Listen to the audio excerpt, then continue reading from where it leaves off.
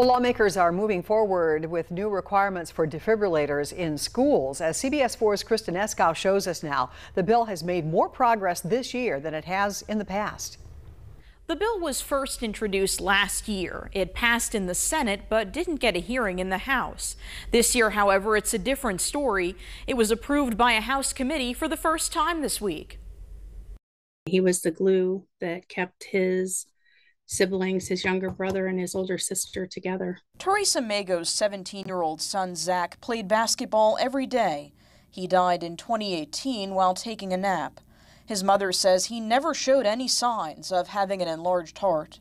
One in 300 children has a heart and an undetected heart abnormality. Since Zach's death, Mago launched a foundation to raise awareness about heart health in young Hoosiers.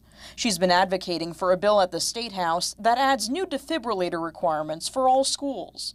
I think what really pushed this to the forefront is when Damar Hamlin um, collapsed on the field. State Senator Linda Rogers has been pushing for the legislation as well.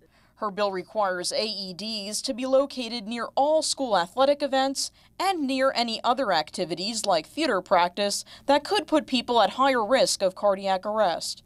It also requires school staff members to develop a response plan and perform drills. Many schools already have AEDs, and so it's just, you know, making sure there's that site specific plan, that people know what to do. What the bill requires is a minimum step. Tanya Arts teaches biomedical science and CPR to teenagers. She wants to see schools go even further than what's required in the bill. I've had 300 students stay after school to become CPR certified. So that tells me they want they want to be empowered to help someone.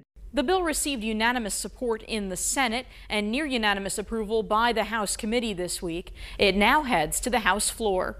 Kristen Eskow, CBS 4 News. Kristen, thank you.